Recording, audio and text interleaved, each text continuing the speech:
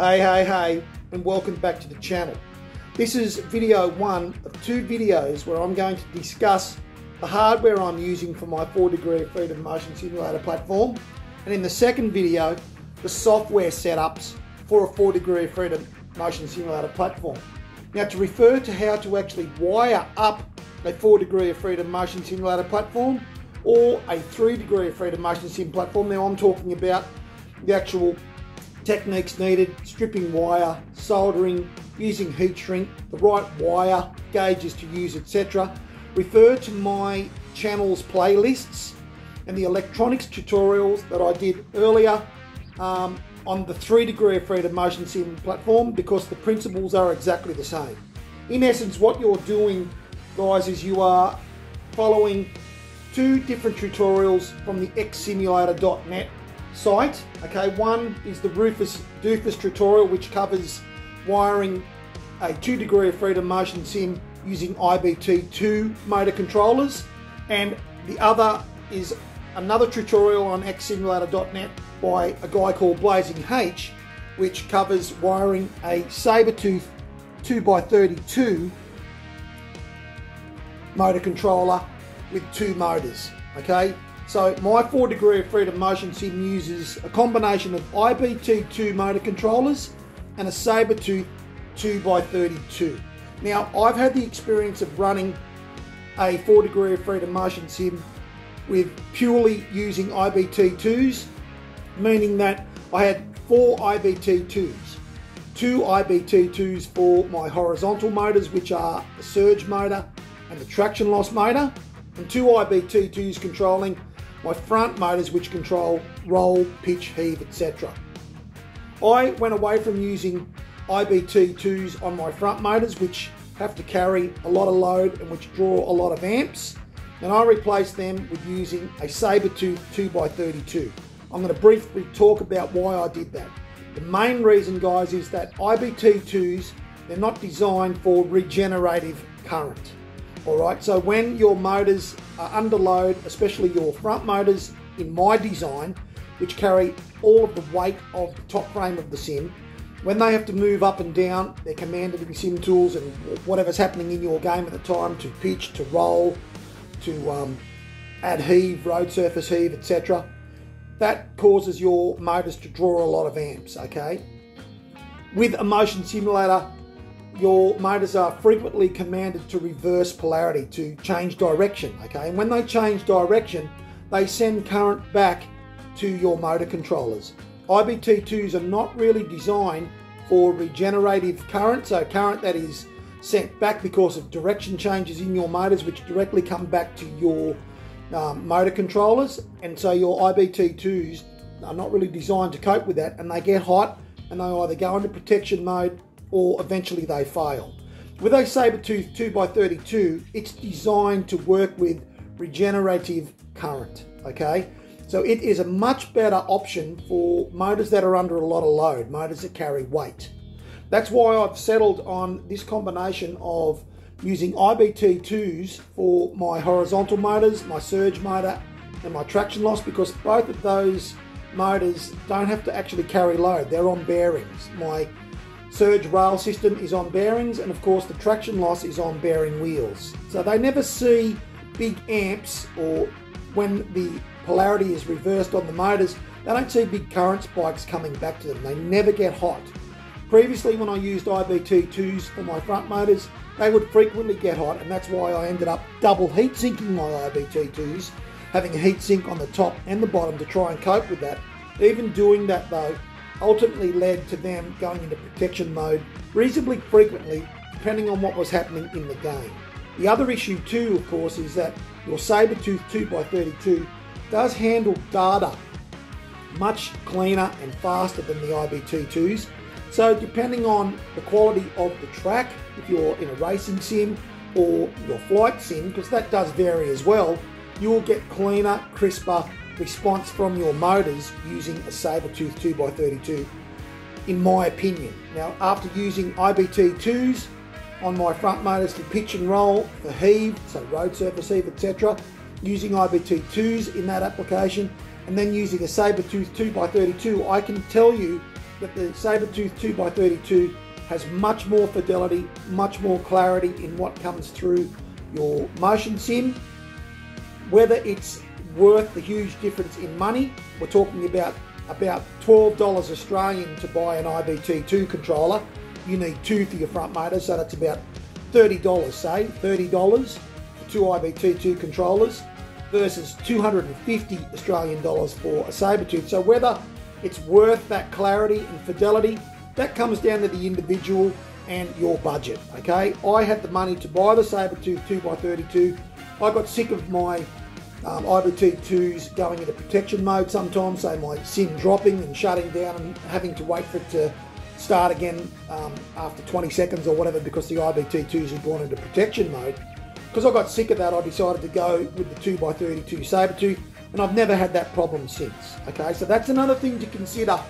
Like I said, IBT2s are not designed to put up with current returning to them from polarity changes because of change of direction in your motors. The Sabertooth does, okay? It's designed to uh, manage regenerative current and so you don't have these shutdowns anymore with the 2x32. That's been my experience, all right? My other experience, guys, is using Arduino shields. Are definitely um, highly recommended. Shields allow you to hard solder all of your wiring into a shield and then put the shield onto your Arduino Uno R3s. So then you can hardwire all of your wiring or you can use the screw terminals found on Arduino shields and you can clamp your wiring correctly after tinning it for a much, much more secure setup than COM wires, just using the Arduino Uno R3s.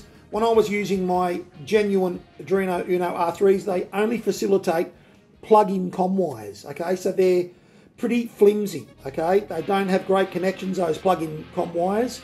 So purchasing a couple of cheap $15 Arduino shields, you need two shields, but you can hardwire and solder all of your wiring to the shields or as I say you can use the screw terminals for a really good clamp on wiring if you choose to do that instead of soldering. A must. Now the other thing I want to quickly talk about guys is how this is basically wired in parallel with a 12 volt car battery okay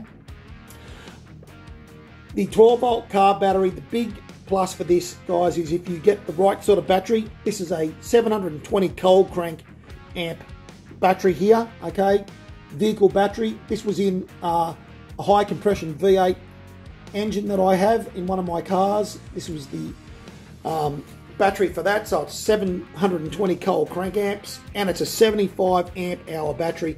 It provides all the amps I ever need for my motors. Now, some people are scared of using car batteries. I only used power supplies back when I first set up my 3 degree freedom motion sim. But even using 50 amp power supplies, guys, they just can't provide amps like a deep cycle lead acid car battery can. All right. Your power supplies will also go into protection mode if they are called on to draw big amps or again if regenerative current is sent back to power supplies, it will also shut them down. The battery is wired in parallel between the power supplies, the battery, and the motor controllers, and then inevitably the motors. So any regenerative energy goes to the battery first. The battery acts as a power soak, okay, and protects your motors, controllers. All right. Now the Sabertooth it's not a huge deal because the Sabertooth is designed for regen current, though it is recommended more for the 2x60 um, amp Sabertooth to run a battery. You can run the 2x32s two power supplies, but it is highly recommended also to use a battery. So my 50 amp power supplies that used to run my two front motors, they're now wired in parallel together to make 100 amp. They go to my battery first, all right?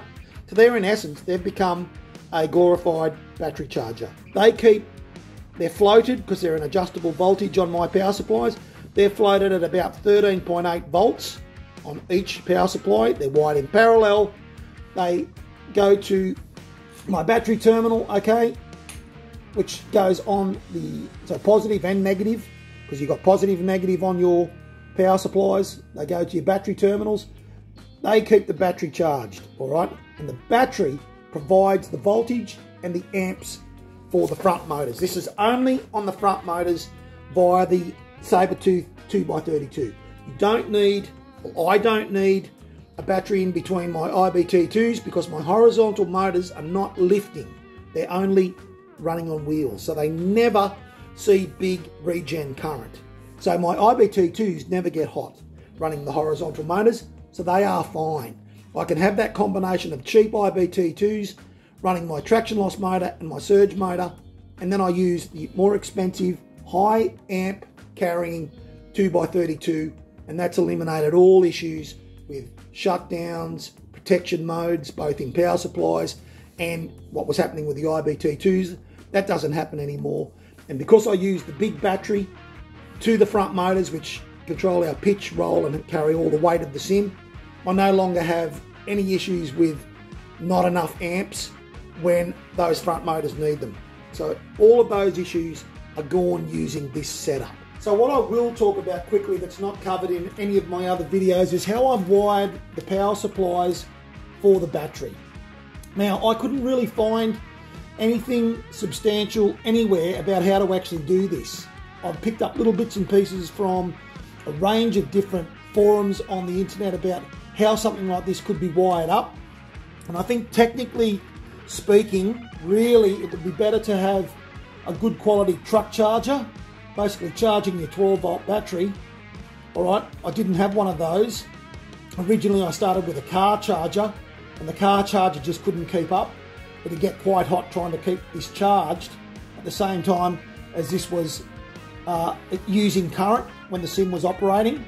So what I've ended up doing from some information I found on the web is I've ended up using basically my power supplies that used to solely control my front motors as glorified battery charger for the battery. Alright, so these are 50 amp power supplies that used to run each motor. They're now wired in parallel, so the two power supplies are actually wired in parallel together to create 100 amps. All right, they're wired together. So one power supply is wired into the other power supply. This power supply then runs out from this power supply to a to one of my battery terminals here. Okay, this is how I've got it wired up. This is one of these cut-off um, terminals that doesn't work properly, so I just take the terminal off when I want to Separate the battery from the system. I just remove the positive side terminal. You could remove the negative, just happens to be the positive that I'm removing. So, power from the power supplies, which are floated. Okay, these are adjustable power supplies. I float these at 13.8 volt. Both of them the same. And I found that that basically gives you a solid trickle charge all the time for the battery. All right, and I've run the sim for um, about an hour. I had somebody on the sim and I had my multimeter and I was keeping an eye on what was happening with the battery to make sure that the battery wasn't being overcharged by using power supplies or undercharged. And it basically pretty much sat around 13.8 volts to the battery while the sim was being used using power supplies like I've just said to basically keep charge to the battery.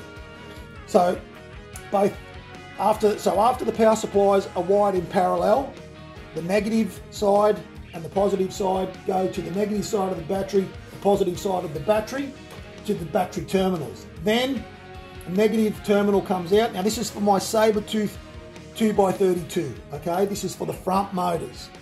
One, one of the negative a negative is then taken from the negative side of the battery into the negative side of the Sabertooth here, all right? For reference, this wiring from the power supplies to the battery and from the battery to the Sabertooth, this is 8 millimeter gauge wire, so 8 millimeter in Australia. I'm not sure what that would be in America. They're heavy gauge wires. The Sabertooth allows 8 to 10 millimeter wire. I don't think you get more than 10 millimeters in there, whereas your IBT2s, you're struggling to get a 6 mil wire into their main terminal block for the power. So it shows you straight up that the Sabertooth it's made for bigger current. It's made to handle bigger current, bigger amp, okay? So 8 millimeter wires for nag and pos. So nag and pos comes out of the power supplies for the negative side of the battery, for the positive side of the battery.